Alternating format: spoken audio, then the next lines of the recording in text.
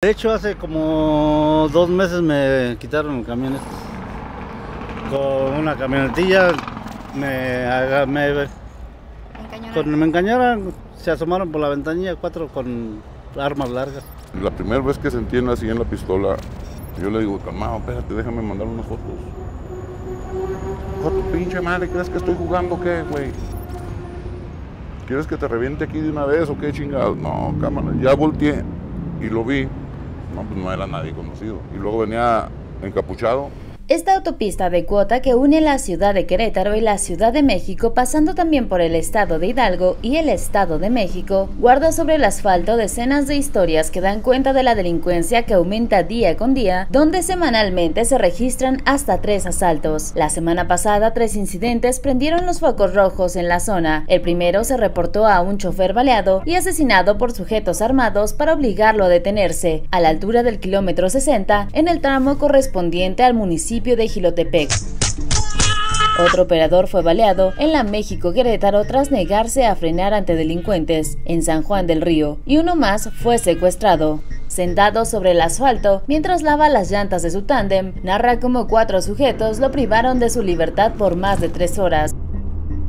El que se subió y me abrió la puerta, yo hablé con él, ¿qué onda, güey? Pues dime qué necesitas, güey. No es necesario que me mates, güey. Mira, yo a este viaje ni me tocaba, güey. Yo fui a levantar denuncia. El día que llegué yo al Ministerio Público, yo nada más las que vi eran como 10 hojas que tenían lo mismo que yo. La misma denuncia. O sea, ya 10 personas que también ya habían Sí, pasado o sea por que eso. ya habían pasado este y un alterón así de denuncias. O sea, es pérdida de tiempo ir a denunciar. Juan y Adolfo Leiva son dos conductores que diariamente recorren kilómetros transportando mercancía en las carreteras. Ambos han tenido malas experiencias al circular sobre los 175 kilómetros de la carretera México-Querétaro. Toda, toda la carretera. Y en cualquier tramo te pueden asaltar. Es toda la carretera. Igual del arco norte es todo, todo el arco norte. No hay puntos rojos de que no hay. Que dijeras tú, de en este cacho estás seguro. No, en cualquier punto te pueden parar y. Pues las eh, inseguridades, todo, la policía, la guardia, todo, todo es un. Una mafia. Donde quieras escucha que hay asaltos, pero ya así que te roben y con mercancía, pues de San Luis para Potosí para acá, hay más, más asaltos, más secuestros.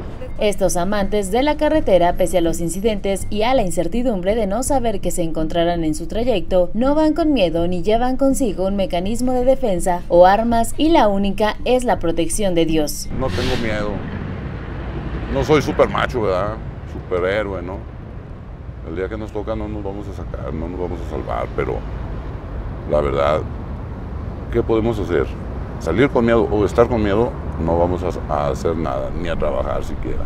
Cifras del Secretariado Ejecutivo del Sistema Nacional de Seguridad Pública indicaron que en 2023 se registraron un total de 593 reportes por el delito de robo en transportes. Tan solo el mes de diciembre del año pasado se detallaron 54 carpetas de investigación. Asaltos, secuestros, agresiones e incluso asesinatos son los peligros a los que diariamente dicen enfrentarse los transportistas que circulan sobre la autopista México-Querétaro.